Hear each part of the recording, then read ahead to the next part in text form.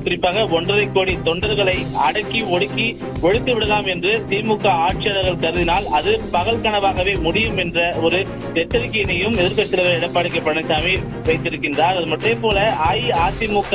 நெருப்பில் பூத்த மலர் என்பதையும் அதிமுக தொண்டர்களும் அதிமுக என்ற இயக்கமும் சர்வபதி தியாகத்தையும் செய்யக்கூடியவர்கள் என்பதனையும் அதே போல அஞ்சுவது யாதென்றும் யாதென்றும் இல்லை அஞ்ச வருவதும் இல்லை என்று எங்களை தீய சக்திகளிடமிருந்து காத்து நின்ற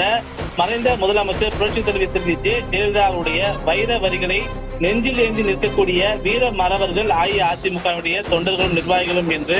அதிமுகவினுடைய இணை ஒருங்கிணைப்பாளரும் எதிர்கட்சித் தலைவருமான எடப்பாடி பழனிசாமி அதே